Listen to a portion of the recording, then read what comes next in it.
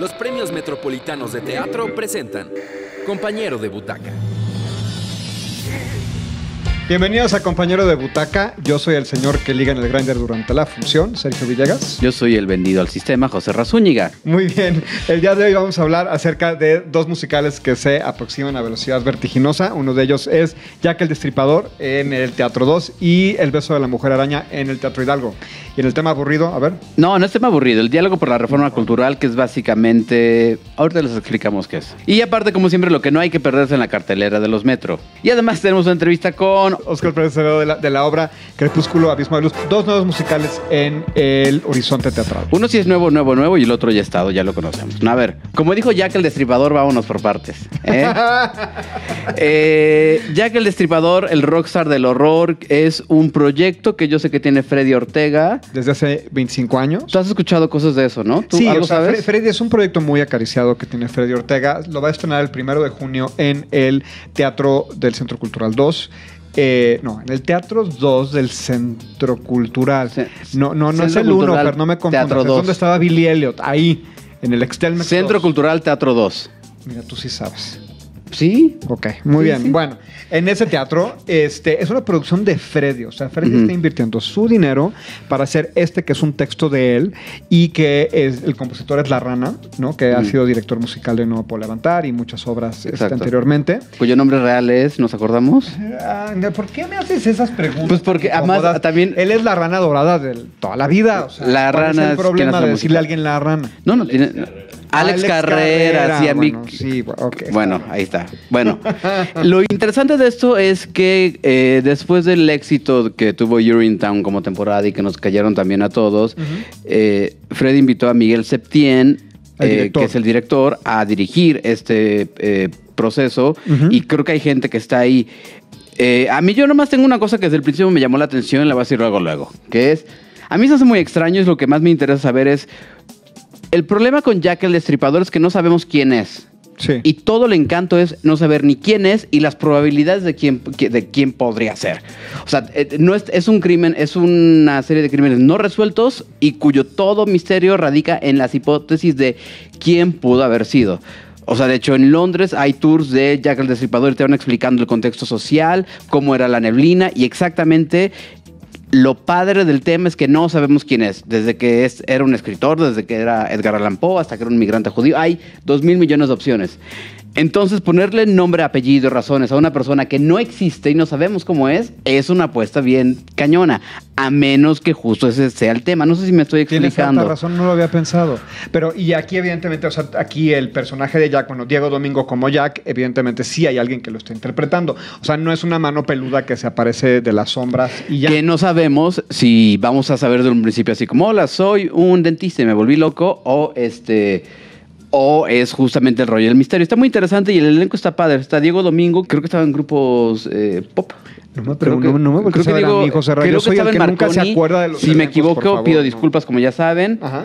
Está José Anuar, que ahora se llama nada más Anuar. que ha hecho muchísima comedia musical. Estuvo un rato con el Cirque du Soleil. ¿Cómo se llamaba esta cosa que era una... El circo de los horrores. Él era No, la no, no, bola no, no, no, la- bola roja. Antes. El Eh, show, cuando estaba Alejandro The Calva. Hole. The Hole. Él era. La bola, en The Hole. la bola roja. Excelente. José Anuar tiene una voz que no saben, o sea, yo sí pagan por verlo. Y aparte está Adrián Pola, José Antonio López III, Yacel Rojos, Carugalde, o sea, y mucha gente de los de Urinetown sé que Sí. están ahí por redes sociales, uno Y no, puede ver. y no, y no veo aquí que está muy bien. Esta es una apuesta en donde no hay figuras muy mediáticas. O sea, no está Lucía Méndez como la víctima número 3. O no está, este, no sé, Diego Boneta como Jack el Destripador. ¿Sí me entiendes? O sea, está, hay gente de oficio del hubieran teatro puesto a. Diego Boneta como Jack el Destripador, pero bueno. No vayas a tuitar eso tú, porque luego ya me acaban de... este, Exactamente. Aquí nos, nos toman el tweet. Sí, la apuesta evidentemente es por la historia y por el talento bruto, lo cual es muy interesante ver en estos tiempos en un teatro como el Centro Cultural Teatro 2, que es un teatro grande, apostar únicamente por la historia y por una historia nueva y por todo lo que te cuenta el título, ¿no? Jack el Destripador, el rockstar del horror. O sea, hay muchas capas en ese título. Y mira, ¿no? y se ve que Freddy le está echando todos los kilos. Es un, o sea, yo hablé con él, es un proyecto como muy, muy personal suyo. Yo creo que va a tener muchos descubrimientos. Yo auguro que este va a ser un proyecto que va a tener una evolución. O sea, que lo van a estrenar el primero de junio y que se van a ir dando cuenta lo que funciona, lo que no, etcétera. Y yo siento que va a haber una evolución, porque normalmente estos musicales así son. Y sucedió con Urinetown. O sea, Urinetown, Sí. lo que nos presentaron ya en la última función, no necesariamente es lo que presentaron en la primera función ese día en Querétaro, ¿no? O sea, ha habido mucha evolución. Y yo le deseo a este musical que tenga también esa curva de, de- de evolución. Y paciencia, de verdad, cuando uno hace una obra de teatro nueva, musical, agárrate de lo que te estás metiendo. Pero es mucho dinero y mucha apuesta al empezar a cambiarla y cambiarla y cambiarla y cambiarla. Yo me acuerdo una vez de una obra que, que yo tenía que tenía problemas y que en la temporada nomás eran pocas funciones. Justo Claudia Romero me dijo, estos son, tómalo como tus ensayos de fuera de, de- de ciudad. Entonces tienen que tener mucha paciencia para arreglar lo que se tiene que arreglar. Vaya, el mismo Bule lo ha vivido, los cambios que se hacen. O sea, es, es algo, Sí, se- se- va a pasar. Y la verdad, es una apuesta muy interesante. Este, me emociona mucho verlos. Subieron ya videitos con unas canciones, no he podido verlos. ¿Tuviste algo? Yo eh, sí he visto algunas cosas, pero tampoco han subido tanto así como para decir, ya puedo emitir una opinión al respecto. No. Entonces yo me Bueno, voy a el esperar a está bueno, pues. A mí me invitó Freddy el primero de junio, yo iré. A ver ahí, a ver qué pedo, ¿no? Y el otro musical que es- se avecina es El beso de la mujer araña. Ya habían anunciado algunos miembros del elenco que, o, o más bien no, este Miguel Septién había anunciado en las redes sociales que se integraba al elenco de la mujer araña. Como director, ¿no? Sí, es que está dirigiendo las dos, o sea, esta es, la, esta es así la fiesta de Miguel Septién. No, pues bueno, pues a qué hora.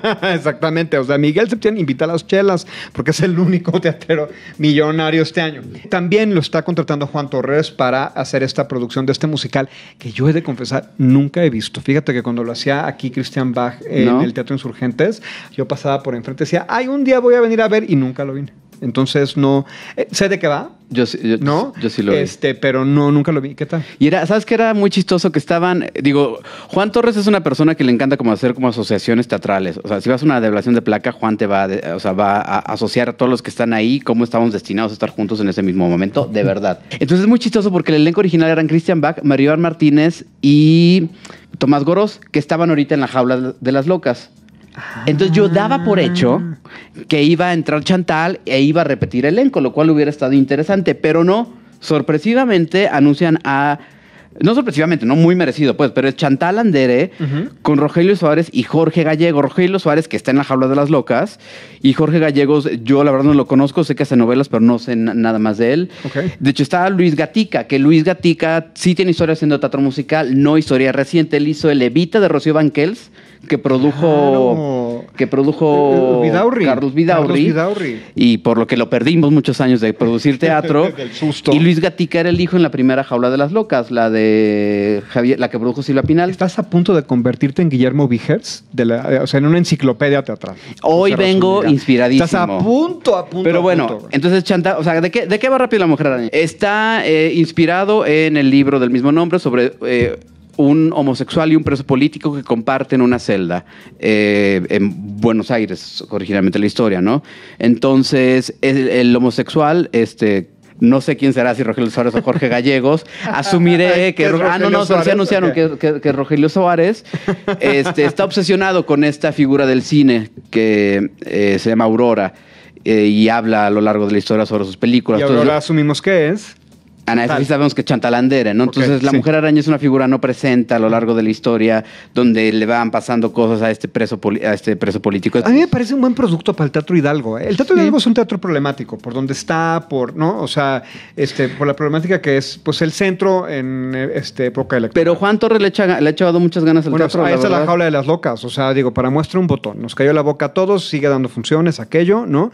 Y encontró un público muy específico. Y yo creo que esta obra va por esa línea. Mm, Y, y esperamos que la vaya muy bien. Y, bueno, y dirigida por Miguel, está increíble. Andrea Biestro, que la veo aquí en el ensamble, como que se me antoja para que sea como eh, la suplente de este Chantal. Me Ah, encantaría mira, ver a Cri- Crisanta también está ahí. Crisanta Gómez, que estaba en Mentiras, que ya está buscándole por otro lado. Jimena Párez, que estaba ahí como, Como Josefa. como la corregidora. La corregidora se quedó ahí en el Teatro Hidalgo. Mucha suerte a las dos producciones. No es fácil. Una de un musical nuevo, nunca antes visto, que eso lleva un trabajal, ¿no? Oye, es mucha gente, mucha, veo que mucha gente como de la jaula brinca para acá en el ensamble, entonces yo creo que ya cierra finalmente la jaula, entonces, ¿no? Aquí no nos atreveremos nunca a aseverar que la jaula de las locas dio su última función. Porque en cuanto decimos eso, anuncian que dan otras tres o cuatro. Entonces, quién sabe si lo van a cerrar o no. este, oye, antes de irnos al, al- al otro tema, yo nada más quisiera decir que aquí traigo mi elegante gafete del tercer Congreso Nacional de Teatro. No nada más quiero felicitar a todos los organizadores. Se la rifaron, es un trabajal. Hay gente de todos los estados. Ahorita me escapé, evidentemente, para grabar esto. En el Teatro Helénico, hablando de teatros, eh, haciendo este, talleres, experimentos, ponencias, hablando de todo tipo de situaciones. Y la verdad es muy loable y yo espero que este, esta iniciativa crezca. Y le agradezco mucho a Eloy, a Ana Francis, a Micaela, a todos los organizadores de este encuentro, que la verdad es un trabajo titánico y les salió bastante bien. Oye, ya hablamos de esto, pero los que no fuimos, Sí. ¿Cómo nos vamos a enterar de qué hablaron?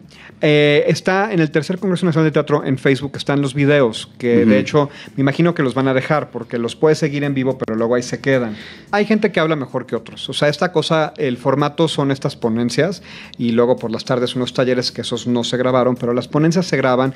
Hubo gente que leyó su ponencia que no fue tan, pues es que leer tu ponencia no es tan padre, pero luego hubo otra gente con don de palabra que yo creo que fueron las ponencias más exitosas y sobre todo hubo una ponencia ah, en un inicio este, de, creo que se llama este, Lorena Hernández, ahorita les digo el nombre, que nos habló acerca de la paz y de la búsqueda de la paz eh, al interior de la comunidad teatral y cómo tenemos que encontrar una buena relación entre nosotros mismos para poder resolver nuestros propios problemas y fue de verdad una, un comienzo increíble.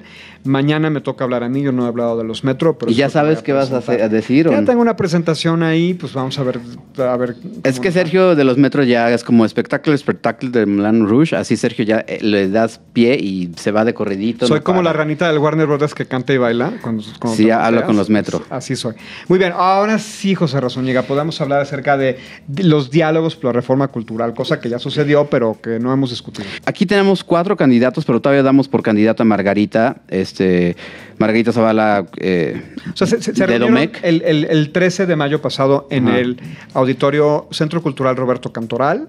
Los cuatro, porque el Bronco no envió a su representante, en ese momento Margarita Zavala todavía estaba contendiendo. Ujú. Entonces enviaron a sus cuatro eh, eh, postulados para secretario o secretarias de cultura, ¿no? Mid propone a Beatriz Paredes, me vengo enterando en este instante. Beatriz Paredes viene de ser eh, embajadora de México en Brasil. AMLO, de esta esquina. Ya lo sabíamos, Alejandra, Alejandra Frausto del partido de Morena. Ajá. Eh, Ricardo Anaya, Raúl Padilla.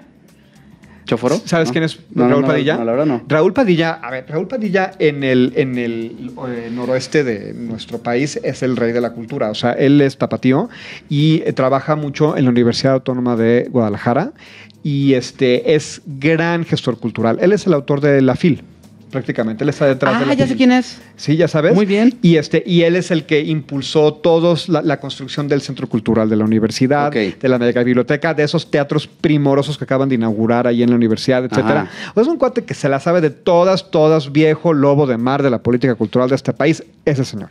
Muy Bravo. bien. Este, por el par lado de eh, Mid, no sabía que estaba Beatriz Paredes, que fue secretaria general del PRI. Con Este, Huipil y toda la cosa llegó. Ajá. Este, alguna vez fue eh, precandidata a la presidencia de la República, ahorita va como de precandidata para Secretaría de Cultura. Que, Política de toda la vida. que ganas de querer perder dos veces. Sí, este, y, viene, y viene de estar en, eh, te digo, de, En Brasil. En Brasil como embajadora, por eso no la habíamos visto los últimos años. Ah, ok. Y Margarita Zavala, eh, conocida exdiputada, eh, que fue diputada, primera dama, bartender, todo en el mismo sexenio. este, chiste robado. Propone a una persona muy cercana a ella, propuso eh, que a mí me encantaría ver de vuelta en la política a Consuelo Sáizar. Consuelo Sáizar fue ya secretaria de Cultura de, en tiempos de Felipe fue- Cal- fue presidenta del. Conaculta, que era diferente porque no éramos secretaría. Es que los... Ah, tienes toda la razón. Bueno, Exacto. tienes toda la razón. Entonces fue, fue cabeza del que Conaculta. el cargo es un poquito el mismo. An- Antes del Fondo de Cultura Económica, su, su trabajo es más como en la parte editorial. De hecho, el legado de. Consuelo tiene que ver mucho con este, la generación de bibliotecas. Sí. Y este. Y durante su gestión en el Conaculta se construyeron muchas bibliotecas, y le tocó, la, construcción la- a la- le tocó la construcción de la Saubicrema a la pobre, pero bueno. Sí, de la estela de luz que del desfalco ese ahí de todo el dinero que se robaron. Y este, y ahorita Consuelo está terminando su doctorado en una universidad en Reino Unido. Entonces, pues obviamente así vino justamente para esta conferencia. Pero ya no cuenta, así que ya. A mí, qué. a mí lo que me pareció muy interesante es que el formato era un diálogo, no tanto un debate, y yo creo que fue mucho más productivo que los debates presidenciales como los que hemos visto en días recientes. Pero por otro lado, también, para la gente que no sabe mucho de cultura, puede ser la cosa más aburrida del mundo, porque en efecto no se dan estas confrontaciones que se dan en los debates, en donde uno se está echando tierra al otro, etcétera, y queremos ver quién gana. Porque ya de verdad era hasta ridículo como decía algo Beatriz Paredes y Consuelo. Bueno, como decía la compañera Beatriz, me gustaría abonar a su propuesta. Y luego entonces este Raúl Padilla decía, tienen las dos razón. Yo agregaría no sé qué y luego Frausto no podemos decía, votar por "Qué ellos para marav-". presidente, Güey, ¿eh? o sea, exactamente, esos cuatro ya podían este, gobernar el país sin pedos. Mira, también pasa algo, que los cuatro, yo no ubicaba a Raúl Padilla, pero ya que le- le- me das razón, eh, son finalmente gestores culturales, que eso es rarísimo Beatriz encontrar. Paredes también. Pues bueno, tiene... No, creo que no, pero al menos... Beatriz es política. ¿no? Ra- Beatriz o sea, es Beatriz política, es política. Y fue la única que tomó el podio. Todos los demás así desde su asiento. Y cuando le tocó hablar a ella, así dijo, con permiso, se paró, se puso detrás del podio, que estaba ya abandonado, que hasta ya habían apagado el micrófono, ¿no? Y, este, y ella tomó el podio. O sea, ella muy política. Y la verdad es que fue del- de los tres candidatos la que menos, este, pues no sé, como Vela que en el movía entierro. Sí, porque pues tenía como un discurso muy político, además de que, pues mira, los políticos ahorita del PRI, tanto Mid en los debates como ella en este contexto, pues ¿qué van a hacer, güey? Defender Y lo que ella, sí están es, haciendo. y ella como- sí es priista de toda la vida, de ¿no? toda la vida, por buena no- persona no que iba a seas, decir- este, pues, si te toca, exacto, ser hijo de Voldemort, pues ¿qué haces? O Entonces, mira, de lo, o sea, en resumidas cuentas, los cuatro candidatos hablaron mucho acerca de la falta de infraestructura y que se tiene que este, dar más infraestructura y sobre todo que se tiene que aumentar el presupuesto, que se tiene que hablar de una secretaría de las culturas, no nada más la cultura como un, una cosa que existe, sino que se tiene que expandir la- la- la, este, a las culturas y sobre todo Padilla habló mucho de las industrias culturales, ¿no? O sea, y de cómo nos podemos vincular todo ese trabajo que se hace subvencionado por la Secretaría actualmente, cómo se debe vincular con la iniciativa privada. Y en general, me parece que todos estaban hablando de muy buenas propuestas. El pedo y lo que les preguntaba el moderador es, ¿de dónde van a sacar la lana? Porque una de las cosas que dijo Margarita, o, la, o bueno, Consuelo Sáizar, representando a Margarita, que le hicieron eco todos los demás, es que se tiene que elevar el presupuesto de, de la cultura. O sea, el presupuesto de cultura actualmente es un 0.3% del presupuesto general de la, la nación.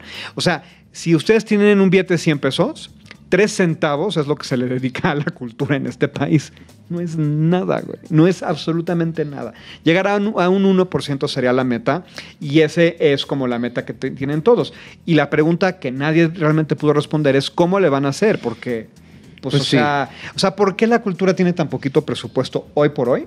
Si es tan poquito dinero proporcionalmente, ¿por qué no hay dinero para la cultura? ¿O por qué no el poquito dinero que hay?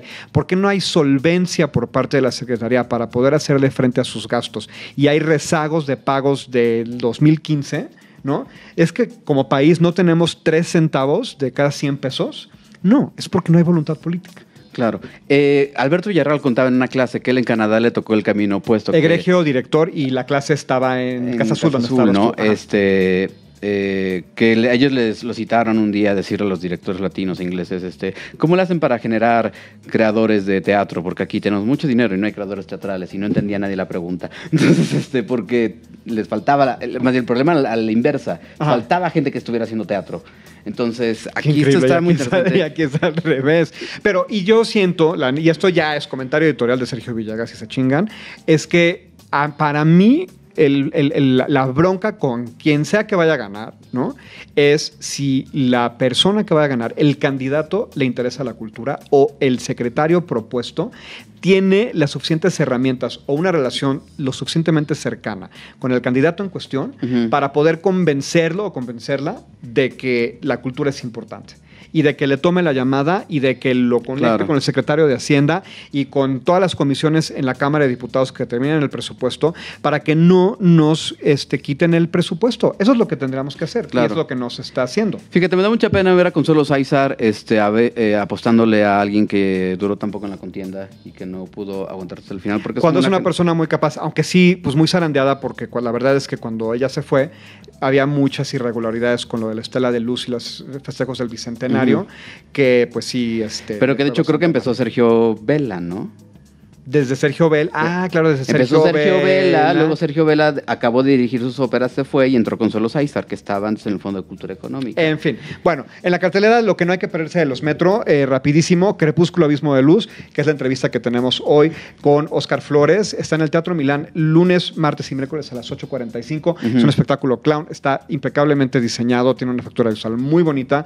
Métanse al app de los Metro para que vean ahí el videito del previo, a ver si se les antoja. Ok. Luego, Sucia y muy chingona historia de amor que está de vuelta en la casa que la vieron hacer, que es la tatería, los viernes y los sábados a las ocho y media. La vieron hacer ahí, fíjate, yo Sí, no ahí sabía empezó. que ahí empezó. Ahí empezó, ahí empezó. Adorada obra, y además lleva mucho tiempo de temporada, abre una Yo creo nueva hace temporada. dos años la vi al menos. métanse al app de los Metro, vean el videito, a ver si se les antoja. Y Cinema 35, que termina ya, está a punto de, de terminar temporada, en el Foro Lucerna, miércoles y jueves a las 8.30. Este, que aquí ya hemos hablado de esta obra, está súper divertida y este, está en sus últimas funciones no se la pierdan. Tenemos una entrevista con Pierre Luis que vino hace unos, unas semanas con nosotros. entonces, Adorado, sí, también vean esa Véanla y así se enteran mejor de, de qué va. Muy bien, pues ahora en la entrevista tenemos este, a Oscar Flores. Quédense con nosotros. No olviden suscribirse a las redes de los Metro, los Metro MX. Vamos a la entrevista. Bienvenido, Oscar Flores, de la obra Crepúsculo, Abismo de Luz del Teatro Milán. ¿Cómo estás? Muy bien, gracias, gracias. ¿Qué tal? Yo ya la vi, José ahora no la ha visto. Entonces yo pregunto las tonterías, él, él- él hace la... la- la- Yo haré la pregunta docta y erudita y José Ra va a hacer la Pero está pregunta bien porque tonta. así, el- del- así es el teatro, ¿no? Hay gente que tienes que convencerla de ir y gente que ya te va a intensear, pues, de qué se trata cada cosa. Vienes de la hermana República de Cuernavaca Eh, Sí, de Morelos. y esta obra corre el rumor que ya la habías montado antes. Ya la había puesto en el Espacio Cultural La Morada. Ahí, ahí fue donde la estrené, de hecho, en el 2011. Y después la, he estado, la estuve presentando como cada año en el Teatro Campo, que es el único teatro que tenemos en Cuernavaca. Esta obra, digo, para todos los que estén interesados, se presenta lunes, martes y miércoles a las 8.45 en el Teatro Milán. ¿De qué se trata esta obra, Oscar? Pues Crepúsculo este, es una, historia romántica, es un, es, un, es un texto que hice a partir de un encuentro y de- desencuentro amoroso que tuve con, mi primera pareja. Bueno, la, la- la historia viene un poquito de antes. Eh, eh, yo este, descubrí el, el clown, el mundo del clown y los bufones en la escuela de Jacques Lecoq en, en En París. Sí. Y ahí, este, de hecho, ahí nació Fiasco, eh, ahí hace 30 años. Y entonces eh, hice en aquella ocasión un pequeño espectaculito para presentarlo en el, en el gran espectáculo de clowns que hacíamos ahí este, a, a nivel internacional, porque había de, de diferentes nacionalidades. Eh, que lo hice con una madrileña y entonces hicimos el, el numerito de Debajo del Agua. Y bueno, la invitaba a cenar debajo del agua, todo con pantomima. Y luego cuando regresé a México dije, bueno, quiero desarrollar ese, ese numerito, lo quiero hacer más grande. Entonces tuve mi primera pareja que era actriz, di un curso de clowns cuando regresé, etcétera. Y entonces con ella empecé a crear esta historia romántica de clowns. Pero pues la realidad que es de, este, de repente pues que truenas como pareja y entonces en ese momento dije, ah, claro, ya sé cuál es el final y cómo tengo que hacer el espectáculo. Para ti, este, y para todos los que nos ven y nos escuchan, ¿cuál es la diferencia entre un clown y un payaso y un actor? Bueno, pues ese en realidad es, es payaso, ¿verdad? Si lo decimos en español es payaso, pero este, de repente hay esta cosa de que el payaso en México está muy desprestigiado por toda esta serie de, de- de payasos de, que ofenden al público, el payaso callejero, etcétera, de, de fiestas infantiles.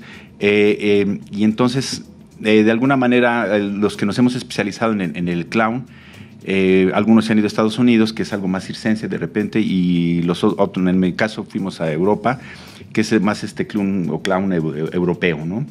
Eh, en este caso es un clown más eh, teatral, más teatral, aunque eh, la escuela Lecoq llegaban diferentes este, mm, eh, artistas de diferentes partes del mundo, habría había gente que trabajaba en el circo, entonces también se hacía malabares, pero eh, eh, Lecoq no hacía mucho hincapié sobre, la parte circense, sino más sobre, sobre el clown. Y, y hay una cosa, digo, yo, yo no sé si es como me, pas- me pasa como el fenómeno del coche rojo. Tienes un coche rojo y ya ves por los coches rojos, ¿no? Entonces, unos años para acá que tuve amistad con un actor especializado en clown, siento que el género está un poquito de... No sé si se puso de moda o siempre ha estado Sí. y nomás me medio empecé a dar cuenta. ¿Tú cómo lo has visto? No, yo creo que se puso de moda. Fíjate, cuando yo regresé, eh, regresé de, de París, eh, eh, yo propuse da- dar cursos de clown y de hecho fui a la AND, etcétera, y con Julieta Gorrola y con grandes actores que les propuse dar el, el- el curso de clown y todo el mundo me decía, no, yo no voy a hacer el ridículo, porque no estaba de moda el clown.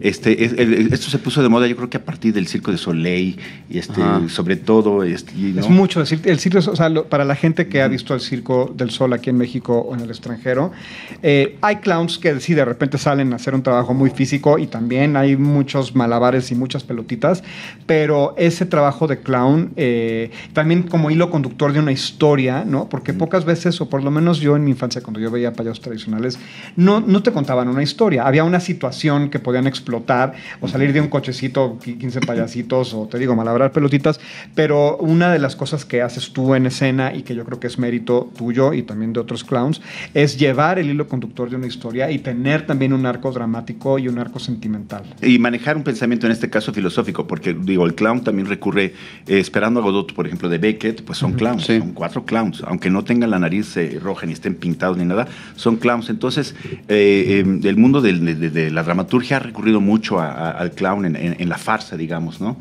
Eh, entonces, pues yo es lo que hago, ¿no? Yo quise hacer este texto, pues filosófico también, y entonces me apoyé en textos de, de Nietzsche, de, de Wim Wenders, etcétera, para, para, para que tuviera algo más, este, pues un mensaje y más interesante para el, para el público. Es que justo eh, la semana pasada estábamos platicando de cómo la comedia a veces se siente un género, o sea, yo que estoy clavado en comedia, como un género menor, un poco menospreciado. Hasta a mí hace poco, la- hace unas semanas me dijeron así como, bueno, ya ponte la nariz. Pero yo lo, aunque yo no, no soy performer, pero lo llevo con mucha gracia, pues. O sea, yo no lo tomo como ofensa el que me digan como tú que eres un payaso, ¿no? A mí me encanta, pero la gente lo toma muy mal, ¿no? Entonces, a mí lo que me llama la atención es que finalmente el clown sí es, sí creas un personaje que te cuenta esta historia. ¿Quién es este personaje de esta, de, de esta obra? ¿Quién ¿Qué es nos- Fiasco? Fiasco, sí. Fiasco. Fiasco. Fiasco se llama, que como les decía, nació eh, en París hace 30 años. Y desde que regresé, pues como Fiasco he creado varios espectáculos. Eh, espectáculos de, de- de pantomima, donde no habla nada, ¿no? Es mimo clown, ¿no? Este se llama Escucha mi silencio. Como generalmente hay esta, nos jalan al clown a- para un público infantil, pues hay mucha, muchas, mucha oferta, digamos, eh, para, para el público infantil, ¿no? Entonces, pues he hecho muchos espectáculos para niños donde hablo, pero siempre trato de hablar con mensajes, que hay algo interesante, ¿no? No este tipo de payasito, ¿no? Este, integro las magias y, y- y hablo de los derechos de los niños o canto canciones sobre el cuidado de la naturaleza. Entonces tengo varios espectáculos de fiasco. Y en esta ocasión, eh, Crepúsculo, Abismo de Luz, es un espectáculo que hice para, para el espectador grande, para el adulto, para, para con el mismo fiasco, ¿no? Porque habla sobre, sobre, sobre el amor, sobre, sobre el alma, sobre el espíritu, sobre, eh, sobre la, la estancia del hombre en este mundo que es muy pequeña y que apenas tenemos, un- es muy corta la vida, ¿no? Y tenemos un poco tiempo para desperdiciarla y no saber amar, por ejemplo. Oye, y una, una de las cosas, Oscar, que este espectáculo se distingue, a- pero así a simple vista, es por su factura visual, ¿no? O sea, realmente te acercaste a creativos este, de primera categoría, o sea, está Matías Gordero y Félix Arroyo en la escenografía y el espacio, también creo que Matías hizo el espacio. Eh, o- entre los dos. Entre los dos, entre Ajá. ustedes dos. Jeril Dibosh hizo El vestuario, que está cuidado, ¿no? Sí, bueno, como Jeril D, ¿no? Que cuida todo con. Es que es milimétrica. Y yo creo que eso, en, en- en- con las proporciones del teatro, mira, pues se ve precioso. O sea, digo, tú no lo ves pues, estás sobre el escenario, ¿no? Pero te habrás dado cuenta que con las fotos, el video, etcétera, Sí. tiene una factura muy interesante. Eh, ¿Cómo era este espectáculo antes, Antes. en Cuernavaca y ahora? ¿Y cómo fue dar ese salto de estar arropado por esto que, que ahora? Y trucos escenográficos que no voy a spoilerear, ¿no? Pero ¿cómo era antes y cómo es ahora? Eh, pues fíjate que cuando lo, lo escribí, originalmente me lo había imaginado eh, como lo estoy haciendo ahorita. Muy cercano de como lo estoy haciendo ahorita. Eh, el- el, eh, de hecho, un poquito lo que me faltaba ser- sería un poco de jugar con, con este, eh, con estos libros de pop, pop, este, De ¿no? Que les, yo quería un poco que se, se abriera así de cuando lo, lo escribí. Pero de alguna manera se, se logró ahorita con la propuesta con de, de Matías, ¿no? Eh, entonces, eh, antes, pues yo dije, bueno, yo no puedo, no tenía los recursos económicos para, para, para hacer esto, pero Em, bueno, regresándome un poquito a la historia de cuando lo, lo- lo escribí, con- con- cuando decidí escribirlo, fue hace como 20 años que lo, que lo escribí. De hecho, me metí a la SOGEM para, para escribirlo. Y este, escribí el espectáculo y cuando lo tuve no me atreví a, a- a llevarlo a la escena porque era muy poético. Y dije, ahora cómo le hago, cómo me como esta, este Claro. texto, porque yo estoy acostumbrada pues, a los textos dramáticos, conflictos, personajes, etcétera. Dije, ¿cómo digo este texto poético? Entonces lo estuve manteniendo como eh, lecturas eh, dramatizadas. Me vestía de fiasco y lo leía. Lo Claro. leía, lo, dra- lo- lo dramatizaba y entonces en veladas literarias, en, esp- en espacios escénicos lo hacía. Y al público siempre le gustó mucho. Este, la- las partes visuales que ahora vemos eran narradas entonces.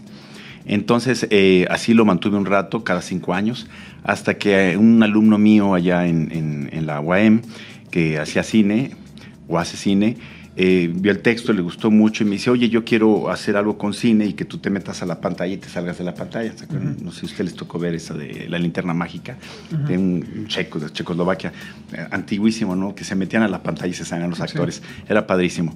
Y entonces lo empezamos a hacer así, pero no se terminó ese proyecto. Y, en ese, y para esa producción, en aquel entonces, él, eh, mandó a hacer las, las tarimas con trampas. Me hizo un primer vestuario, eh, los, los primeros este, fantoches que, que- que sigo utilizando.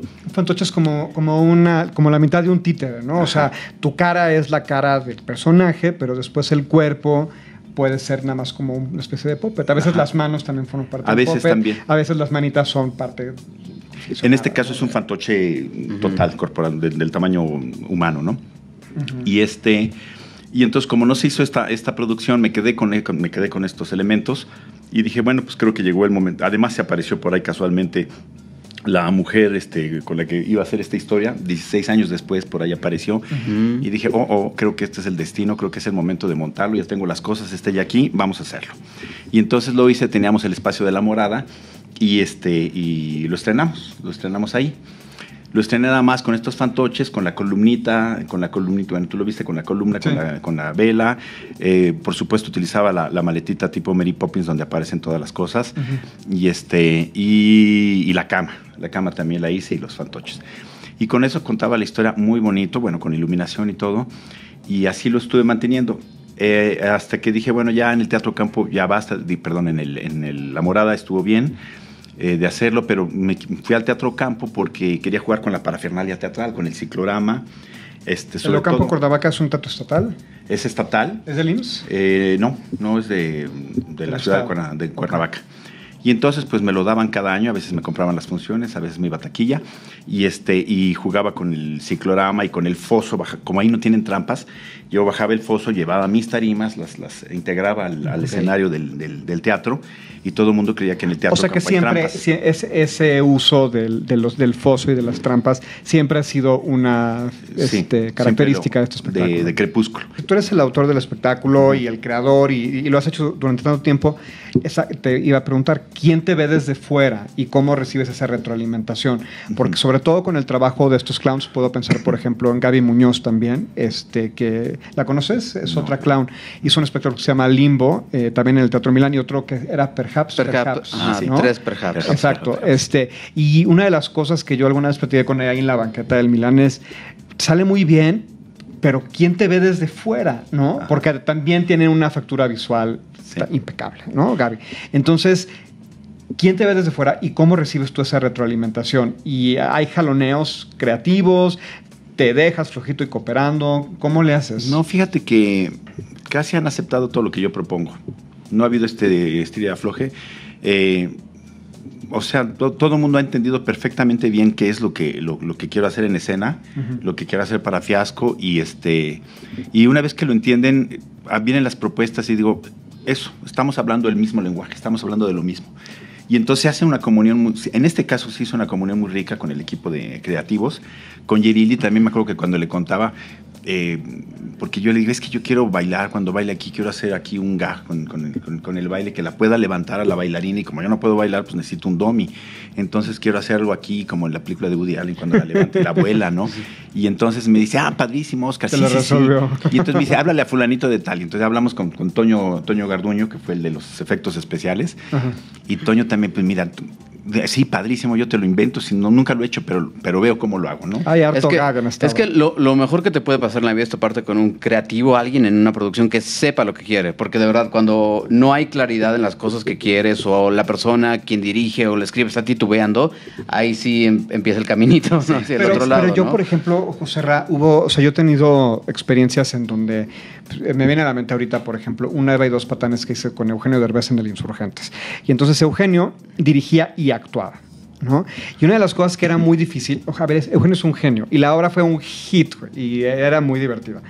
Pero de repente decía yo, híjole, yo como creativo, ¿con quién hablo? Porque mi director Claro. está en escena. Yo no voy a parar la obra y decirle, a ver, alguien sustituya a, a- a Eugenio para que él venga, a- se siente aquí conmigo en esa butaca y entienda que si esta luz está más verde o más rosa, o si le gusta o si no, ¿sí me entiendes? Entonces son procesos difíciles. Y pon tú que en un- con un actor convencional, pues consigues a un director, etcétera. Pero en el caso específico de un espectáculo unipersonal de un clown, pues la persona que es el creador, el autor, etcétera, pues es el señor, él tiene que estar en el escenario, no hay de otra, ¿no? Entonces, ¿cómo desarrollas un trabajo creativo con el resto de tus creativos? Por más chingones que sean, que chingones lo son, o sea, eso sí no tiene, ¿no? Vuelta de hoja. Pero este, justamente esas dinámicas, Claro. ¿no? Son las otras. De repente, eh, eh, eh, Eugenio, nunca voy a, este, a, a olvidar de esto, Eugenio, que cada vez que él sentía que no tenía luz, nada más me hacía así. No, y yo le echaba más luz. Y de repente le tenía que decir, Eugenio, si te ves bien, no necesitas más luz, por favor, confía, ¿no? Es que sentía que me veía muy oscuro. No, estás lampareado, maestro, pero no estás oscuro, no te preocupes. Entonces, justamente es esto, porque no le veo solución. Al actor convencional siempre hay un director, eso no tiene problema. Pero al clown, pues es- eres tú, güey. Claro, claro. ¿Sí me entiendes? Sí, o sí. sea, no, no, no puede haber otra cosa. Y la factura es muy buena. Entonces yo decía, ah, ¿cómo lo hicieron, no? Así de pasen la receta, el secreto, ahorita, ¿no? Y se la pasamos a todos los clowns. Pues años de hacerla y con claridad, te digo, se llega a algo, ¿no? Porque si sabía lo que quiere, pues entonces claro que estás llegando y aterriza las ideas, ¿no? no, sí. ¿Qué, qué- cuando viste las fotos y el video, ¿qué, qué- qué pensaste? Yo cuando lo vi dije, esto pues, se ve muy bonito. O sea, Sí, no, es- sí, no, no, un viaje Sí padre. me lo, sí me lo, lo siento. Es que es, es curioso porque ahorita me quedé pensando un poquito en esto. Creo que he desarrollado un poquito, porque hago, he hecho muchos espectáculos desde adentro. Me he dirigido mucho. Eh, evidentemente corre el riesgo de, de repente de, pues, de no tener este ojo crítico, pero eh, también me ha asesorado mucho de, de Liliana Guacuja, en este caso es la, la productora, que ha hecho un trabajo pues, muy bueno, ha ha sido una excelente productora, productora pero ella eh, en, la- en los otros espectáculos eh, me ha asesorado, ella ya me ha asesorado desde hace tiempo, desde las relaciones públicas, la fotografía, o sea, ha pasado por varios campos y ha sido de alguna manera también mi asistente de dirección. Y tiene un ojo muy bueno y entonces yo confío mucho en ella. Ok, ok. Entonces, de, este, de repente yo, Liliana, mm, ¿estás viendo lo que está pasando? Sí. ¿Va bien? Sí. No, o sea, sí me explico. Entonces, es más, hemos llegado a, a ent- a entender esto ahorita que dice lo del foquito que dice Eugenio que haces, porque de repente uno tiende a, como actor, director, que te pones a dirigir desde escena y hay que tener mucho cuidado con eso, porque no se debe de ver al director en el escenario. Tiene que estar el, el- el personaje, ni siquiera el actor. Sí. Tiene que estar el personaje en escena. Y este, y este tipo de detalles que se me han ido, por supuesto, no, no es perfecto, se me han ido rápidamente. Liliana dice, ese, ese, ese, ese pequeño gesto que tuviste fue de director. Fue No, de entonces, Oscar, no de Fue de Fiasco. Oscar, no de fiasco. claro. Entonces, evi- evidentemente, ya me este, eh, he aprendido, digamos, a que no debo de hacer ese tipo de gestos. Entonces, finalmente, pues bueno, si la luz está mal colocada, pues el personaje se va hacia la luz. se va hacia ya aprendiste a luz. sentir tu luz, eso sí lo Sí, tienes muy no, sí. planchado, está bien. Y, y sí visualizo, porque Matías, por ejemplo, hacía la iluminación en este caso, sí la sientes, sí lo sentía y, y sí me doy cuenta y me papas y, y me voy poni- colocando. ¿Dónde vas a color aquí? Ok, pum, ahí está la luz, perfecto. ¿Puedes colocarte un pasito adelante? ¿Cómo no? No, entonces, este, entonces íbamos pues muy bien. Sí, y te lo pregunto porque obvia- obviamente la, la obra tiene puntales filosóficos muy específicos que pueden explicarse gracias a que lo demás está cuidado, porque si no, entonces estarías como, como performer, este, pues intentando librar obstáculos todo el tiempo y no se siente así, se siente como que corre, como se encausa muy bien y entonces, digo, no lo vamos a spoilerear, pero pues se puede disfrutar del espectáculo muy bien. Oye, y yo quiero saber, la respuesta del público, ¿cómo te ha tocado vivir ese cambio? Desde ese primer público que escuchaba algo leído a ahorita, ¿qué- cómo, ¿cómo estás viviendo eso? Eh, en general ha gustado mucho la, la nueva, este, la nueva versión. Los que no la conocían están maravillados con la, con la, con la nueva propuesta. Los chilangos, porque no la claro. los chilangos, no, ¿no? la conocían. Y este, a los que la, los que la habían visto antes, que, tengo seguidores, eh, muchos me dicen es que es diferente, son dos versiones diferentes, que las- la otra la podíamos apreciar porque nos, nos llevas a, a- a nosotros a hacernos imaginar todo lo que pasaba en el escenario. Esa es la diferencia. Que con la otra versión el público se imaginaba todo y aquí eh, les estoy ofreciendo un atractivo visual. Claro. ¿no? Entonces, eh, son dos cosas totalmente diferentes. Un poco lo, lo de la pantomima, que esa es la maravilla de la pantomima. Yo, por ejemplo, cuando hago el espectáculo de Escucha mi silencio, y lo quiero seguir haciendo así nada más, o sea, no tengo, tengo una maletita, voy en un espacio negro, un cenital, cuatro luces nada más este, que me delimitan el espacio, eh, y se da toda la magia, no necesitas nada más que al, al- al actor en escena y la imaginación del espectador. No se necesita más. Muy bien, Oscar. Pues eh, Crepúsculo Abismo de Luz está en el Teatro Milán, ¿no? Está los lunes, martes y miércoles a las 8.45. Boletos en donde? En Ticketmaster, ¿no? Ticketmaster. O en la taquilla del teatro si se quieren ahorrar la comisión, que aquí somos muy proponentes de eso, ¿no? Y pues muchas gracias por venir, Oscar, a de Pues a Butaca. ¿no? No olviden suscribirse a las redes sociales de los Metro, eh, los Metro MX, eh, y a nuestro canal de YouTube, en YouTube, y nos pueden encontrar en iTunes o en Spotify si les gusta escuchar, pero no ver. Pero está bien que vean también. Nos vemos la próxima semana. Bye. Esto ha sido una producción de los Premios Metropolitanos de Teatro. Síguenos en nuestras redes sociales como Los Metro MX.